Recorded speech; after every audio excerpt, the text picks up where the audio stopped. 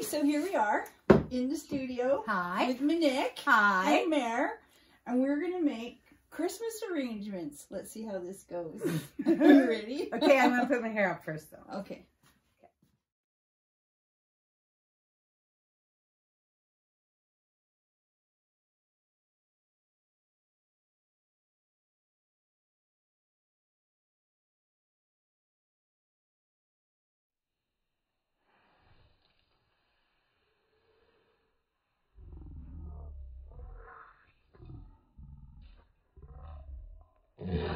Let's see how this goes.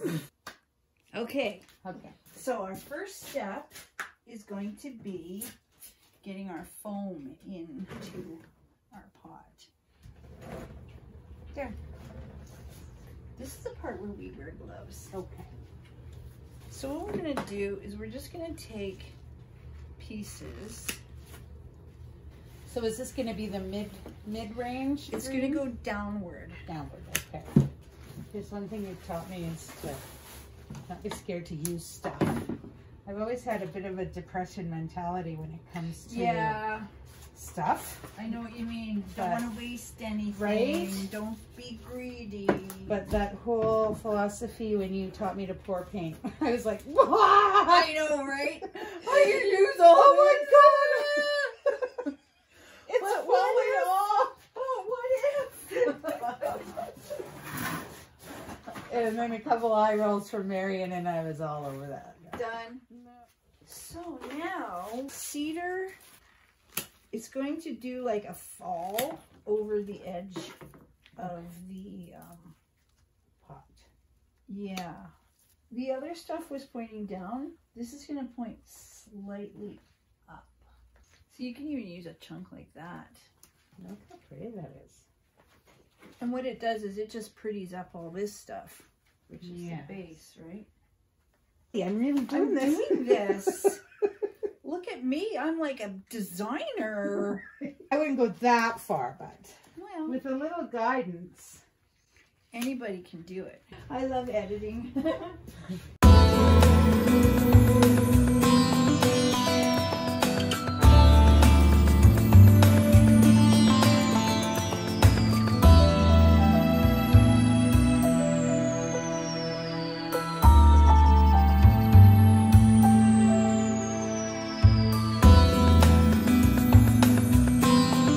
at that! yeah. That's beautiful. Now you want your big Stuff. whatever ones you want of that. Okay. Yeah. Okay.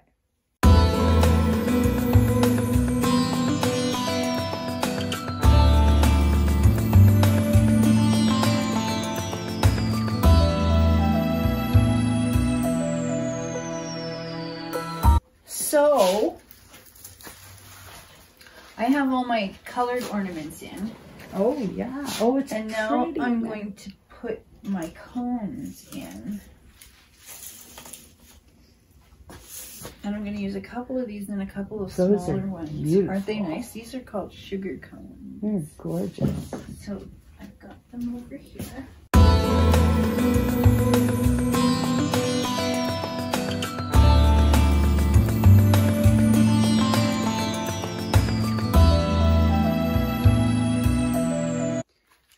looks pretty nice from the it camera does, angle. It? I know, right? there. Look at that. It's beautiful. I love it.